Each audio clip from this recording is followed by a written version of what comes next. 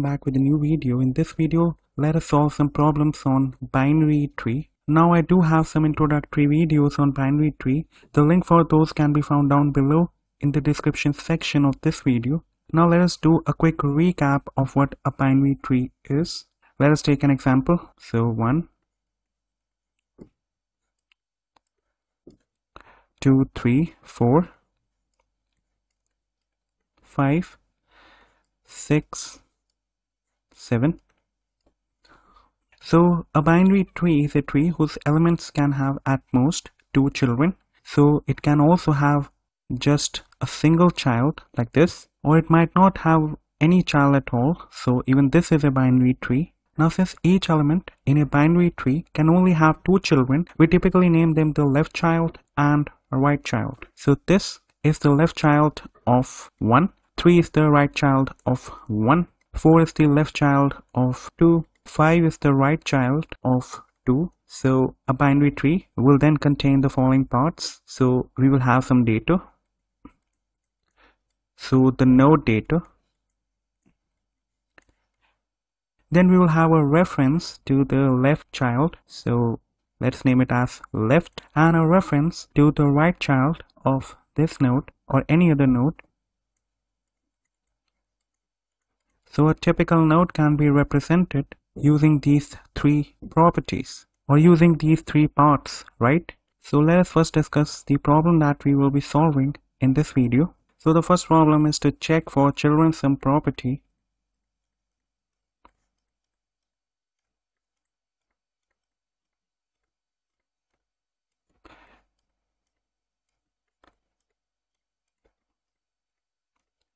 in a binary tree so let us take an example where the children sum property is indeed satisfied. So if we take this example, 15, and here say 10 and 5, here 7 and 3, and here say 4 and 1. So if you consider 15, then the left child is having a node value of 10, the right child is having a node value of 5, so it gives us 10 plus 5, 15, which does match with the node data. If we take these two node values, 7 plus 3 gives us 10, 4 plus 1 gives us 5. So this tree indeed satisfies the children sum property. So let us see how we can solve this problem. Let us understand the approach that we will be using for solving this problem. So the idea here is that we will be using recursion to solve this problem. For each node, as we go over it, we recursively check if the node and both its children, so the left and the right child, whether they do satisfy the children sum property. If they do, then we return true, else we return false. So let us head over to Visual Studio Code and here let us create a new file and name it as binary tree children sum property.js. Now here we need to do a couple of things first. We need to create a class or we need to define a blueprint of what our node should look like. So let us create a class node and define our constructor function. And this expects to get some data. So this dot data set to data, this dot left set to null to begin with. For any new node that gets created, its left reference will be set to null and its right child reference will also be set to null. And then let us uh, create a variable for the root node. Now let us create a function if children sum property satisfied. And this expects to get a node. So we need to recursively check for each and every node of our binary tree whether the children sum property holds for that node or not. So if our node is null, we can simply return true. So if our tree is an empty one or our tree does not exist, then the children sum property is indeed satisfied or if a node's left child is null and the node's right is also null then also we can return true because this is a leaf node. A leaf node is a node whose left and right child is null. So if you consider 7, it's a leaf node, its left is null and its right is also null. Now if a particular node is not null, we need to check for its left and right. So if a node does have a left, then we need to grab the data of its left child. And if a node does have a right child as well, then we need to grab the data of its right child. And then we need to see whether that node satisfies the children's sum property. And then we also need to recursively check that if that node's left and right child themselves also satisfy this children's sum property. So let us see how we can do this. So here let us add an else statement. So here let us first at the top and declare two variables. Let left child data set this to 0 to begin with and right child data set this to 0 as well. And now here for left child data if the nodes left is not null so we do have a reference to the left child of a node then we can grab the data of the left child of that node so this means that if this thing comes out to be true then assign this value to this right? And similarly if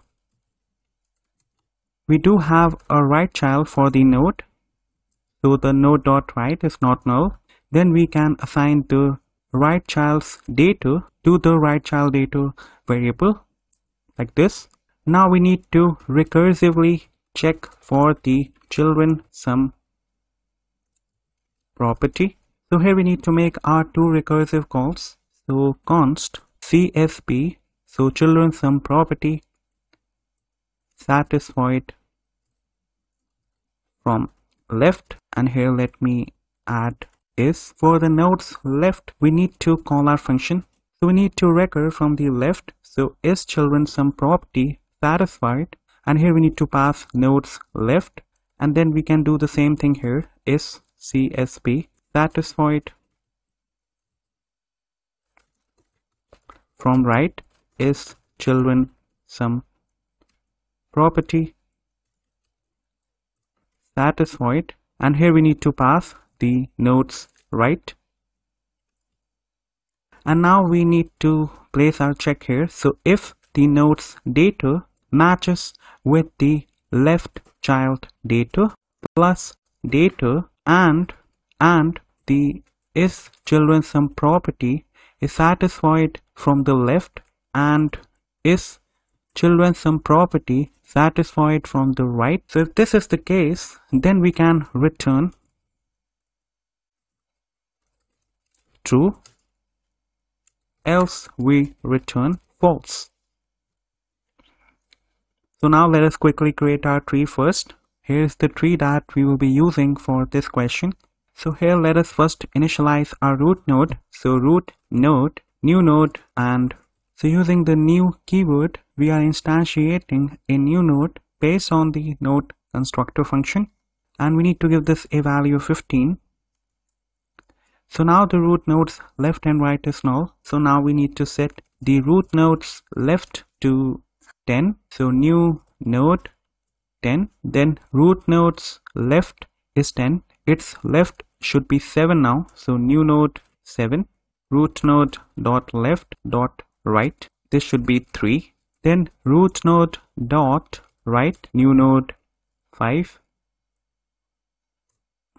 and root node dot left dot right which is 5 dot left new node 4 and root node dot right dot right new node 1 so here let us place an if check. If the is children sum property is satisfied for our root node then we can say console.log the given tree satisfies the children sum property. Else we can log to the console.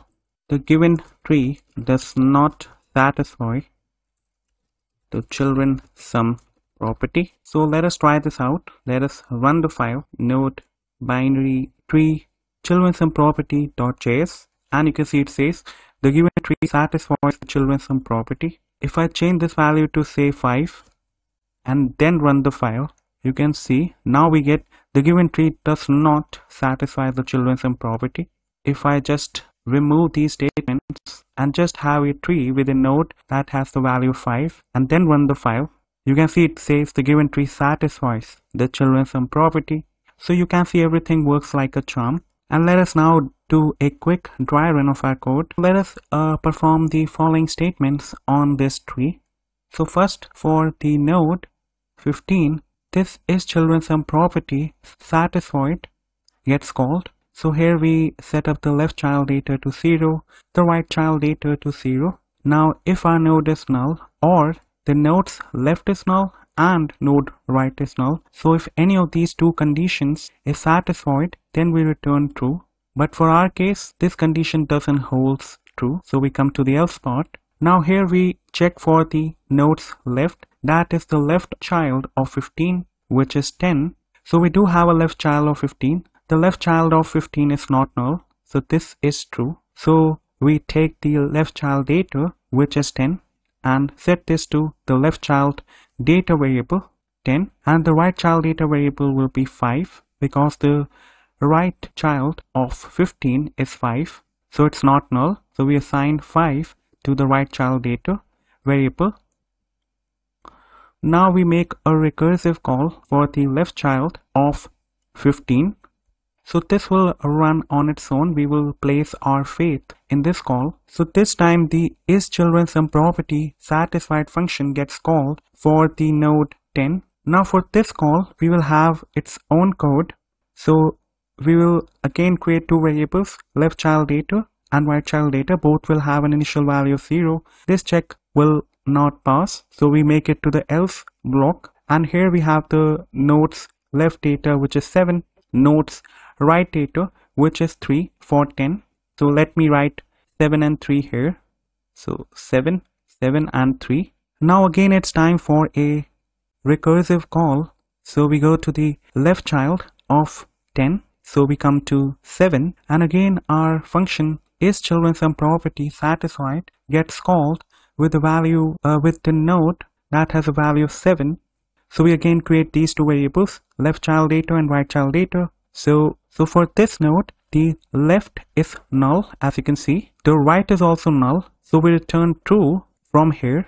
So from 7 we are returning true to, to the function that made this call. So we are returning this back to the call for 10. So from here we are getting true. Now we are back to 10. So this line is now done for 10. Now for 10 we need to make the recursive call for the nodes right? So for tens right which is 3 so for 3 this call will be made and we create two variables left child data and right child data. Both are set to 0 to begin with. And for 3 this condition holds which is node left is null and right is also null because this is a leaf node. So we return true from here. So this true gets returned and here it gets stored in this constant. Now we are back to the function call for 10 where we have is CSP satisfied from left as true and is CSP satisfied from right also as true. So we are getting true from both the left and right child of 10. So now what we need to do is we need to run this statement. So if the node data is equals to the left child data plus right child data and the is children sum property is satisfied for the nodes left and nodes right as well, then we return true, else we return false. So here the node data is 10, the left child data is 7 and the right child data is 3. So 10 is indeed equals to 7 plus 3. So for this we have true and for these two also we have true as you can see. So here we return true from 10 as well So now the is children sum property satisfied call for 15 from the left side is done. So now for the node 15, this line will run and we will recur for the right subtree for 15. So we come right here. Now for this is children sum property satisfied function gets called for the node that has a value 5. The left child data, right child data both are created with the values of 0. Now this condition doesn't hold true for 5, so we make it into the else block. Now we check for whether we do have a left child for 5. We do have one, so the left child data is 4 and the right child data is 1, both of which are not null. Now it's time to make our recursive calls for 5's left and 5's right. So first is children sum property satisfied function gets called for the 5's for this node's left which is 4. So we go to the top and here the node that has the value 4 gets passed. So left child data and right child data variables are created both with an initial value of 0. Now for 4 the node's left is null and node's right is null so we return true from here So now this call is done and we are back to 5. So we need to resume from here to the next statement. So is children sum property satisfied? And now the node's right is 1 for, so we make a call for 5 right. So now the call is placed for the node that has a value of 1. We create two variables, left child and right child, both of which have an initial value of 0. Then the left and right for 1 are both null. So we simply return true from here as well. So from the left we are getting a true and from the right of 5 we are also getting a true. So now we are back to 5 and here we need to run this statement for the node that has the value of 5. So node dot data is 5, left child data is 4 and the right child data is 1. So 5 is indeed equals to 4 plus 1. So we return true from here as well. And we are now back to 15 so now for 15 we get a true from the left. So from the side of 10 we are getting true. And from the right of 15 we are getting a true. So we run this statement now. So if node data is equals to left child data plus right child data which is 15 is equals to 10 plus 5 which is true. And is children sum property satisfied from left which is true because we are getting true from here and is children sum property satisfied from right is also true as you can see. So all these three conditions are true so we can simply return true for 15 as well. And this is how this problem gets solved using recursion.